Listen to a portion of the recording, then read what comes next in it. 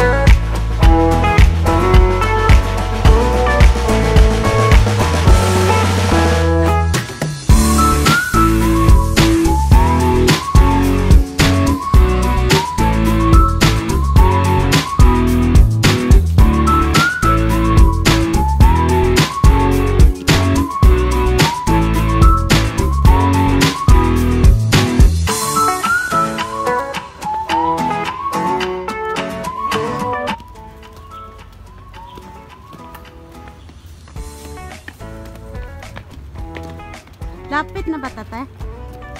Lapit na madugay.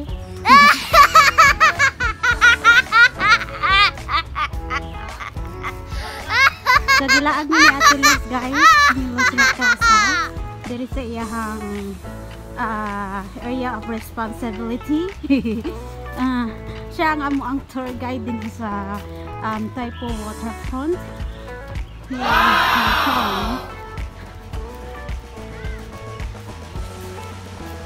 So, daghan siya mga exciting area yung makita namin din. Hmm?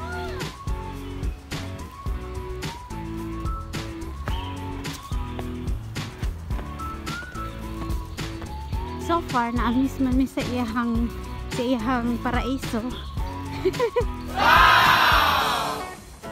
bahalag layo, bahalag ka po at least. Worth it po na mo ang gilaagan sa iyang palasyong lugar.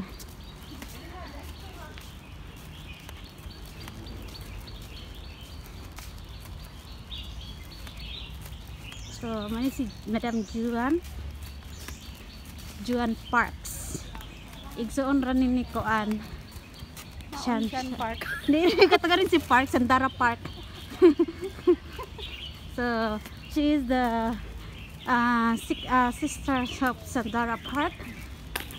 Juan Park. Uy, wa may tubig na dre oh. Palit.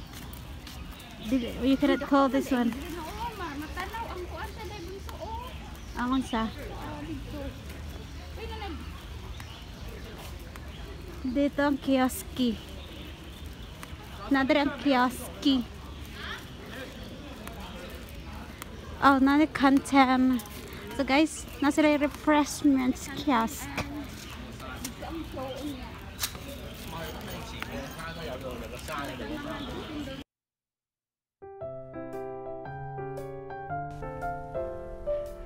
Tai Po Waterfront Park is a park in Tai Po in the new territories of Hong Kong.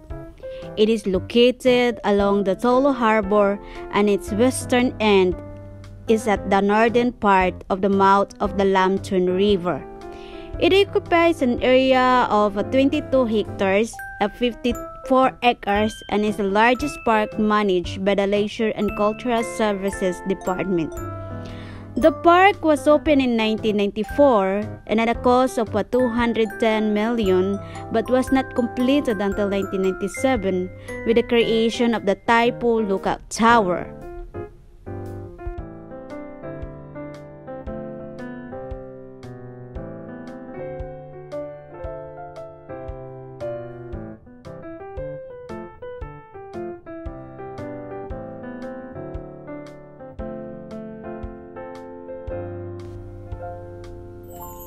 Tai Po Lookout Tower is a large-scale landmark established to mark the transfer of sovereignty of Hong Kong to the PRC in 1997.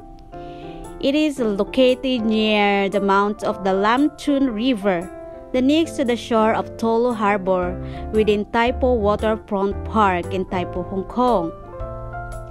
Unrelated to the similar name of Tai Po Lookout, which is now a private residence, the Tai Po Lookout Tower is a local tourist attraction.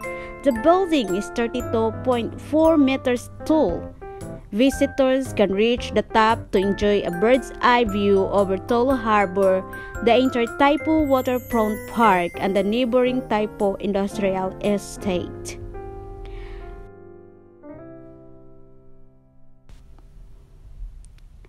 The inhabitants of the new territories defended and sacrificed themselves for their own home in the early period when Hong Kong was ceded to Great Britain in 1898.